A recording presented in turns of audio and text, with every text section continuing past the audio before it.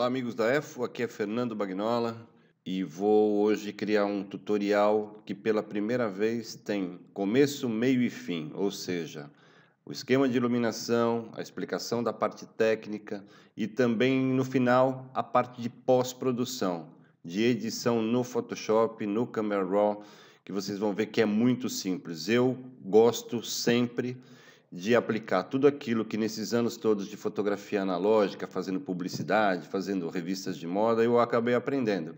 Então eu dependo muito pouco da edição e com isso eu consigo entregar o trabalho para os meus clientes com uma rapidez que a, que a concorrência nem sempre consegue.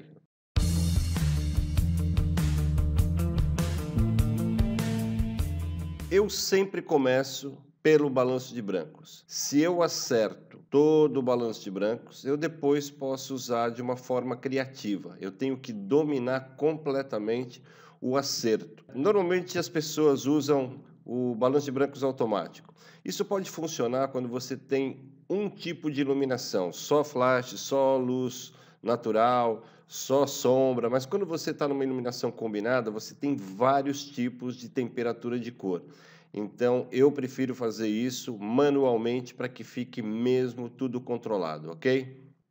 O segundo passo é ajustar o balanço de brancos para a situação de flash, porque é o equipamento que eu vou usar nesse trabalho.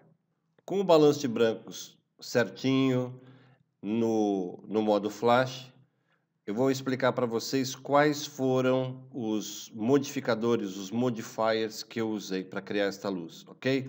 Se por acaso vocês não tiverem exatamente este modifier, um pouco mais para frente nesse vídeo eu dou algumas outras opções que vocês vão conseguir o mesmo resultado, tá bom? Então vamos lá.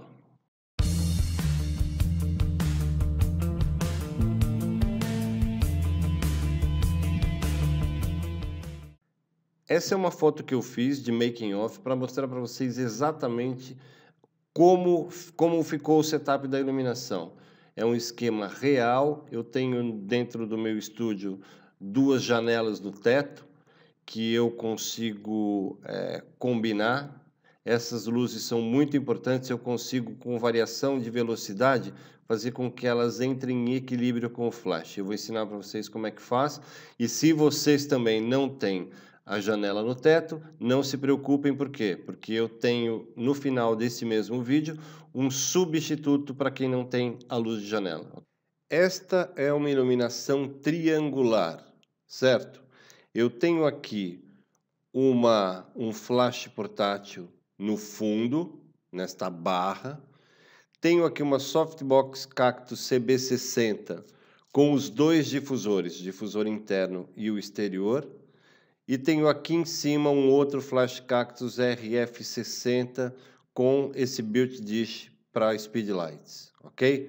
Eu tenho, uh, faço o primeiro clique para ver até que ponto esta luz do teto, que entra aqui, que vocês podem ver aqui no chão, que ela tem até um, um, brilho aqui, até que ponto que ela interfere na minha fotometria. Isto é muito importante, é saber o que cada luz representa no contexto geral. Neste caso, analisando o resultado aqui, eu vejo que essa luz que vem do teto, embora aqui do lado esquerdo uh, ela pareça bastante brilhante, pela velocidade que eu usei, 1,160, ela simplesmente não representa nada, tanto que eu tenho uma sombra aqui do lado da modelo que é o que eu tenho que corrigir agora, porque eu não gosto dessa sombra.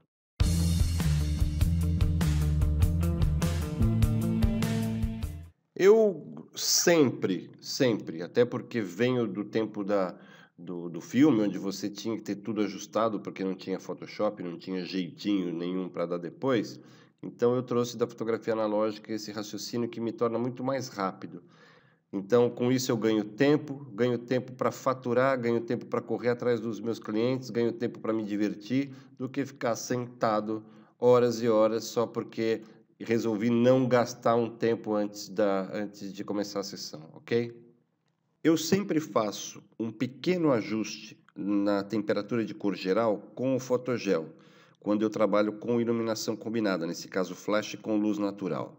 E o resultado é visível porque além de eu tirar essa sombra que me incomodava aqui na foto da esquerda, eu também corrigi a temperatura de cor, deixando a pele com um tom mais natural. E como eu virei o flash com o fotogel para o teto, como vocês podem ver que tem uma parte mais amarelada, eu também aumentei a luz do ambiente, ou seja, simplesmente com o uso do fotogel e, vira, e com a movimentação do flash refletido na parede, né, nesse caso no estúdio, eu resolvi todas as situações que estavam ali me incomodando.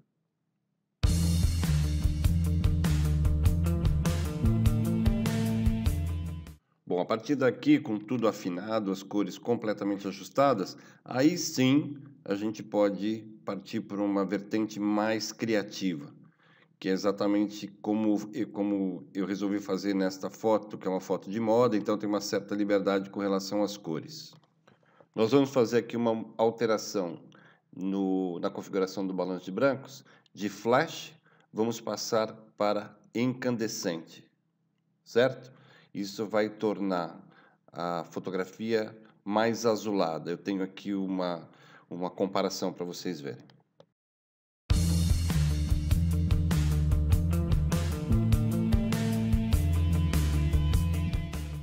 E para quem não tem os mesmos modifiers ou não tem uma janela no teto do estúdio, a solução seria usar o difusor 24mm que vem na frente do flash e para simular a luz que do meu estúdio vem do teto, uma sombrinha translúcida com um flash portátil uh, ali do lado direito.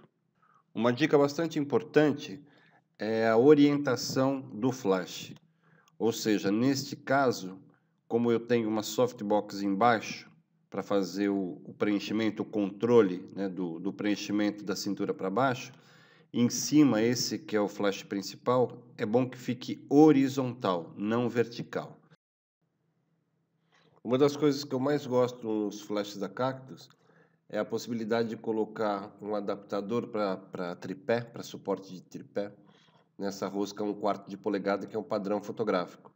Eu pego no flash, viro no suporte e não preciso nem mexer na cabeça, na lâmpada, para direcionar. É muito, muito bom.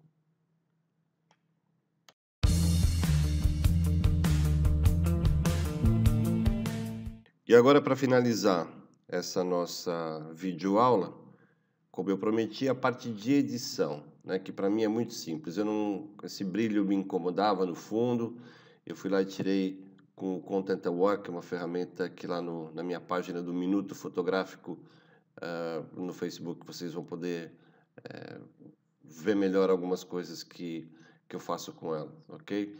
Então aí eu uso, faço uma seleção com o PET, ferramenta PET, laço e vou, vou tirando. Depois no final eu mostro o resultado acabado. Aqui eu vou no Liquify só para tirar aquele detalhezinho no cabelo que ficou fora.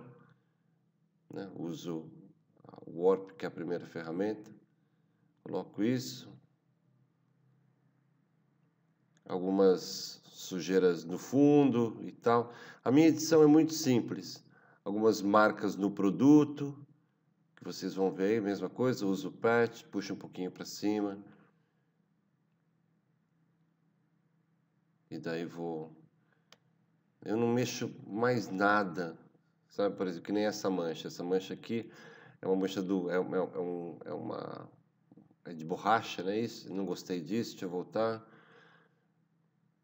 É melhor, às vezes, ir pouco a pouco do que querer fazer tudo de uma vez. Tudo que é muito perto ali, é, fica uma certa mancha, tá vendo?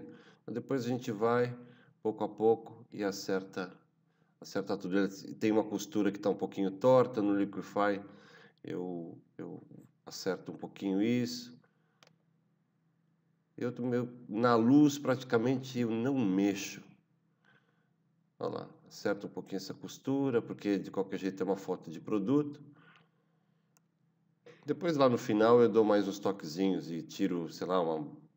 vocês vão ver o resultado final. Mas aí eu só estou uh, mostrando para vocês quais são as ferramentas que eu uso. Eu não saio do Healing Brush Tool, uh, do Patch Tool, Content Aware que é Shift F5 atalho, tiro algumas pintinhas que são não tiro textura de pele, não aplico filtro, não tem essa coisa de é, burn and dodge. Eu não gosto disso. Eu sou mesmo, ainda mais hoje em dia, quanto mais natural for, mais chance tem o fotógrafo. Tá bom? O resultado é esse. E vocês podem reparar que esta luz da softbox frontal, que faz o preenchimento da parte de baixo, o fio flash faz o preenchimento da cintura para baixo, também cria esse reflexo no fundo que, que, que dá destaque, que corta, que separa a modelo do fundo. Ou seja, é uma luz de recorte que na verdade vai para o fundo e não para o modelo. Eu gosto bastante disso. Pois hoje é isso. Uh, se você gostou, deixa aí o seu o seu like para nós, que é que motiva bastante aí para a gente continuar o nosso projeto. Tá bom? É nós. Qualquer coisa que vocês precisarem, é só entrar em contato comigo pelo Facebook ou por, pelos comentários do YouTube, ok? É nós. Estamos junto. Até a próxima. Fui. Tchau, tchau.